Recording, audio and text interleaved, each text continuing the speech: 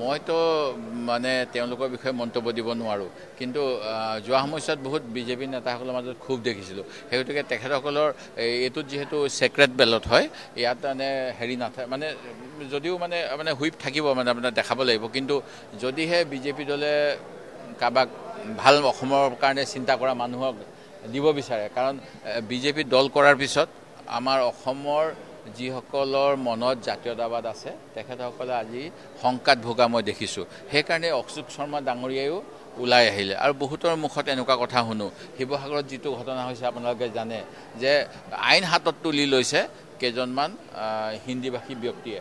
মই হিন্দীভাষী ব্যক্তিৰ প্ৰতি মোৰ কোনো বেয়া ভাৱ নাই। কিন্তু আইন কোনো হাতত তুলি ল'ব নাপায়। কিন্তু যেতিয়া তেওঁলোকে ওৱান নেশ্যন ওৱান লেংগুৱেজ এনেকুৱা কথাবিলাক কয় অসমৰ ওপৰতে হিন্দী জাপি দিব লৈছিল। আপোনালোকে জানে বিধানসভাত আমি তাৰ প্ৰতিবাদ কৰিছিলোঁ। এনেকৈ যদি ওৱান নেশ্যন ওৱান ৰিলিজিয়ন এইবিলাক কথা কয় তেতিয়াহ'লে ক্ষুদ্ৰ ক্ষুদ্ৰ জাতি সত্তাবিলাকৰ আঘাত হয়। সেই গতিকে যদিহে কোনোবাই অসমৰ স্বাৰ্থত মাত মতা এজন নিৰ্দলীয় দিব বিচাৰে আমি সমৰ্থন কৰিম। মই কালি চিটি মলত নে ক'ৰবাত হ'ব বুলি ক'লে তাৰপিছত ফুটুকাৰ ফেন বুলি শুনিলোঁ। মই ভবা নাই যে আলফাই এনেকুৱা কাম কৰিছে। আলফাক মই এতিয়াও শক্তিশালী বুলি বিশ্বাস কৰোঁ। মানে স্বাধীন আলফাটোৰ মই ভবা নাই যে তেখেতসকলে ক'ৰবাত ভঙা চিঙা য'ত মানে কাবাৰীৱালাবিলাকেও কিজানি সেইবিলাকত যোৱা নাই তেনেকুৱা জেগাত বোমাত হ'ব। এইটো কিজানি মুখ্যমন্ত্ৰীৰ ওপৰত কিছুমান হেঁচা আছিল তেখেতসকলৰ যিবিলাক সম্পত্তিৰ কথা অন্যান্য কথা তাৰ পৰা এইটো ইছ্যু ডাইভাৰ্ট কৰাৰ এটা কৌশলহে আছিল নেকি এনেকুৱা সন্দেহ হৈছে। আৰু পুলিচ প্ৰহৰৰ যিকেইজন মুখ মুৰব্বী D G P A D G P তেখেতসকলে কি কৈ আছে? তেখেতসকলে কৈ আছে যে কিবা শান্তি বিঘ্নিত নকৰিব ব্যৱস্থা ল'ম। আৰে পুলিচ ব্যৱস্থাটোৱে সেইকাৰণে। সেইটো আৰু ক'বলৈ দিবলগীয়া কথা নেকি? সেইটো ৱাৰ্ণিং দিব লগা কথা নেকি? কোনোবাই যদি কিবা কৰিছে তেওঁলোকে আইনমতে ব্যৱস্থা হ'ব লাগে। কিন্তু মুখ্যমন্ত্ৰী মহোদয় এনেকুৱা কথাও কৈ আছে যিবিলাক আইন বহিৰ্ভূত কথা।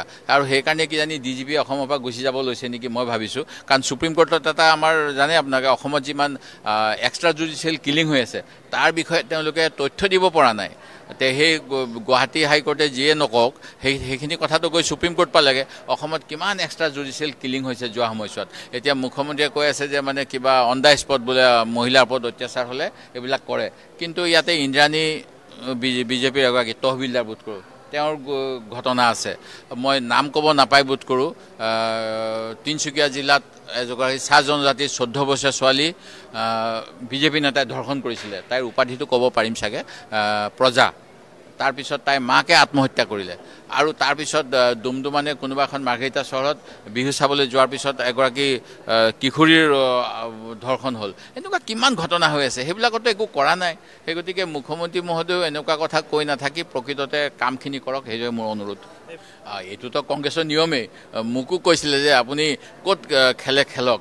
যোৱাবাৰ মানে অকণমান আমাৰ মোৰ নিজৰ সমষ্টিত অকণমান মোৰ অৱস্থাটো টাইট বুলি তেওঁলোকে গম পাইছিলে। তেতিয়া মই ক'লোঁ হাৰো ৰাইজৰ লগত থাকিম। মোৰ সমষ্টিৰ মানুহখিনিক মই আহিব বিচৰা নাই। সেইকাৰণে নাজিৰাৰ পৰা মই কম ভোটত হ'লেও জিকিলোঁ। আৰু আমাৰ কংগ্ৰেছৰ নীতিয়ে সেইটো যে দলৰ কৰ্মী হিচাপে আমিতো নিজৰ চইচত গ'লেতো আমি আটাইতকৈ ভাল ছেফ ছিটত যাম। আৰু কংগ্ৰেছৰ ছেফ ছিটত যোৱাটোতো কেতিয়াও আমাৰ কৰ্মীসকলে বা কোনোবাই নিবিচাৰে। গৌৰৱ গগৈ যেনেকৈ প্ৰত্যাহ্বান গ্ৰহণ কৰিলে ভূপেন বৰাই প্ৰত্যাহ্বান গ্ৰহণ কৰিব বিচাৰিছে। সেই গতিকে পাৰ্টীয়ে যাকে য'তে দিয়ে নিশ্চয় খেলিব ভাল কথা।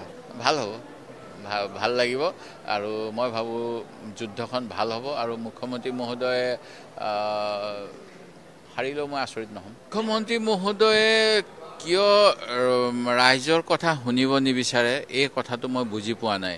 আৰু ৰাইজৰ কথা নুশুনিলে বিপদ অনিবাৰ্য হ'ব এই কথাটো যোৱা লোকসভা নিৰ্বাচনত ভাৰতীয় জনতা পাৰ্টীয়ে যেতিয়া অপ অপকি বাৰ কিবা তিনিশ পাৰ বুলি কোৱাৰ পিছত আঢ়ৈশ কিমান? চাৰিশ পাৰ। তিনিশ নহয় ভুল হৈছে।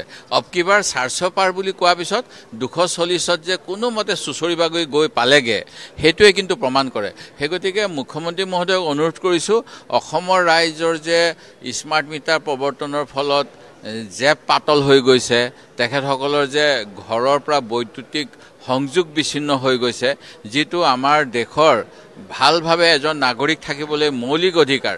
আজি আমাৰ দেশখনত যদি আমি আগুৱাই যাব লাগে তেতিয়াহ'লে সংবিধানৰ এনেকুৱা বহু অধিকাৰ আছে। তাৰ ভিতৰত এজন নাগৰিকে স্বচ্ছভাৱে থাকিবলৈ হ'লে তেওঁক বিদ্যুৎ যোগান দিব লাগে বুলিও ছুপ্ৰিম কোৰ্টৰ এটা ৰুলিং আছে। কিন্তু স্মাৰ্ট মিটাৰৰ অৱস্থা এনেকুৱা এটা দিন যদি কেনেবাকৈ আপুনি পইচা দিব নোৱাৰে লগে লগে ডিছকানেক্ট হৈ যায়। তাৰপিছত আকৌ ৰিকানেক্ট কৰিবলৈ আপুনি পইচা ভৰিব লাগে। এইবিলাক মানে চৰকাৰে ৰাজহ সংগ্ৰহ কৰিবলৈ কুটক কৌশল আৰু স্মাৰ্ট মিটাৰটো বাধ্যতামূলক বুলিও কোনো কথা নাই। আমাৰ কেতবোৰ বিভাগ আছে যিবিলাক কনকাৰেণ্ট লিষ্টত আছে কিছুমান চেণ্ট্ৰেল লিষ্টত আছে কিছুমান ষ্টেট লিষ্টত আছে। কিন্তু এই বিজেপি চৰকাৰখন অহাৰ পিছত তেওঁলোকৰ এটা ভ্ৰান্ত ধাৰণা আছে যে ওৱান নেশ্যন কিবা ওৱান ৰিলিজিয়ন ওৱান ল এনেকুৱা ধৰণৰ। যিবিলাক ডাইৰেক্ট প্ৰিন্সিপলটো কৈছে যেতিয়া আমি সম্পূৰ্ণভাৱে সক্ষম হ'ম তেতিয়া আমি আৰু বহুতখিনি কাম কৰিব পাৰিম। এই জবৰদস্তি কৰিলে বেয়া হয়। এই এনেকুৱা তেওঁলোকে জবৰদস্তি কৰি কৰাৰ কাৰণে তেওঁলোকে জনবিচ্ছিন্ন হ'বলৈ গৈ আছে। আৰু মুখ্যমন্ত্ৰী মহোদয় এই মন্তব্যটোৱে আমাক আভাস দিছে যে মুখ্যমন্ত্ৰী মহোদয়ে গ্ৰাছ ৰুটৰ তৃণমূল পৰ্যায়ৰ মানুহৰ কথা কাণ দি শুনিবলৈ যত্ন কৰা নাই। তেখেতক কোনোবা বিষয়া কোনোবা অভিযন্তা কোনোবা ঠিকাদাৰে বোধ কৰোঁ বুজাইছে স্মাৰ্ট মিটাৰ ভাল। আদানী কোম্পানীয়ে পাঁচ হাজাৰ নে চাৰি হাজাৰ কোটি টকাৰ স্মাৰ্ট মিটাৰৰ ভিতৰত প্ৰায় হাজাৰ কোটি টকাৰ কাম পাইছে। খুব সম্ভৱ আদানী কোম্পানীৰ কোনোবাই তেখেতৰ কাণত এনেকুৱা কথা কৈছে সেইকাৰণে তেখেতে এইবিলাক কথা শুনিব যত্ন কৰা নাই।